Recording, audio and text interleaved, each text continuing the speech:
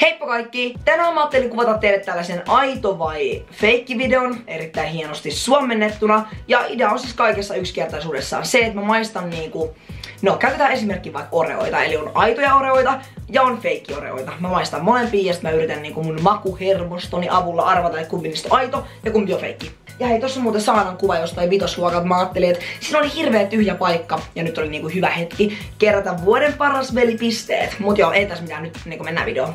Aloitetaan vaikka näillä spriteilla, koska mulla on nyt vähän jano. Ja no, nyt testataan. Tää maistuu mun mielestä tosi halvalta, tai siis niinku, tällä hetkellä mun mielipide on se, että on niinku veikki. Tässä oli ehkä vähän enemmän hiirihappoa, musta tuntuu. Kyllä mä melkein sanoisin, että tää on. Tää on ehkä aito. Ja mulla on täällä alla siis vastaus. Mitä? No. Tää on feikki! Miten?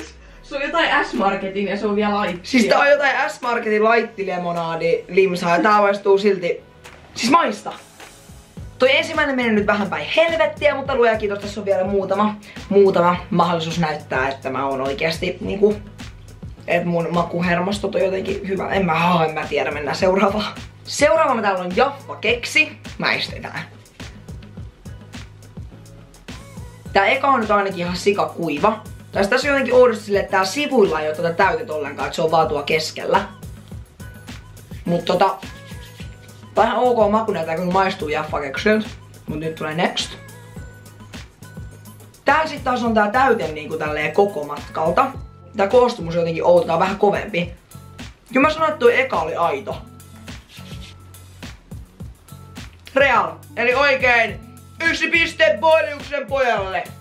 Mitä mä rakastan? Mua. Seuraavana täällä on juustosnaksut. Mä en tiedä minkä takia mä nyt oon ottanut osakseni tehdä tällaisia hienoja siirtymiä.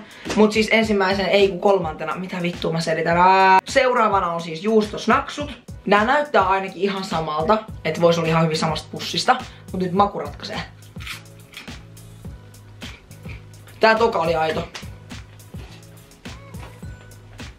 Oikein! Seu... Seuraavana suklaamurrot. Näin se nyt on vielä maitoa, mutta mä hoidan sen nopeasti tässä. Mun on tullut pienempänä syötyä niinku aika paljon suklaamuroja. Mulla on ihan sellainen fiilis, että niinku tän mä tiedän. Tää on rapea. Ehkä hieman vieras koostumus. Musta tuntuu, että tää ei ehkä ollut se aito. Mm. Joo. Tämä on aito. Lyön vaikka vetoa.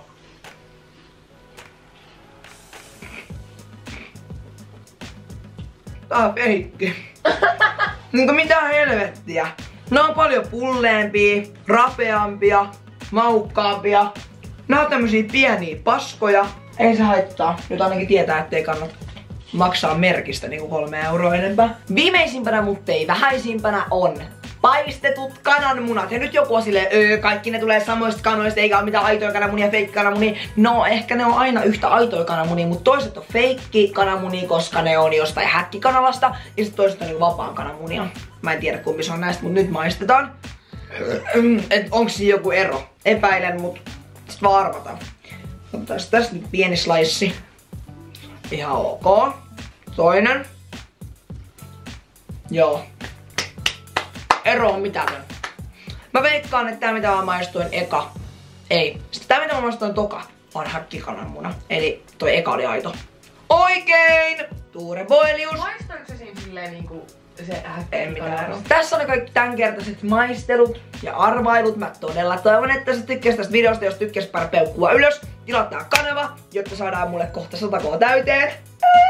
No mutta ei kaipaa tässä, ei kaipaa. Ei kai tässä mitään muuta nähdään me seuraavassa videossa. Moikka!